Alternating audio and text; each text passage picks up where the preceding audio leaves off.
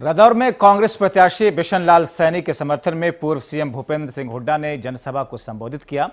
उन्होंने कहा कि हमारी सरकार बनते ही दोबारा दादूपुर मलवी नहर चालू हो जाएगी और किसानों का कर्ज 24 घंटे के अंदर माफ़ होगा।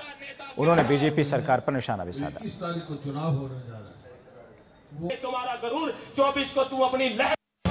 यहाँ ऐसी सरकार बन गई हरियाणा में। कोई बोलता ना फौज बुला लेंगे पंचकुला में फौज बुलाओ, महाराज आदमी। यहाँ किसान आए थे, स्वामीनाथन, तुम्हारा वायदा था भाई। यहाँ आए तो उनकी ट्रॉली बंद कर दी एक महीने तक छोड़ा नहीं, उनको पीटा।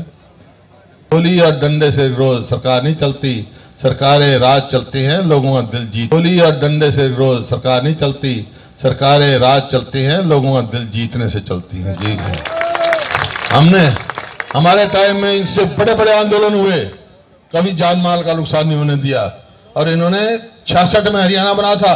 छियासठ से लेकर 2014 तक 80 आदमी गोली से नहीं मरे पुलिस के, जो 2014 के बाद मर गए 80 से ज़्यादा।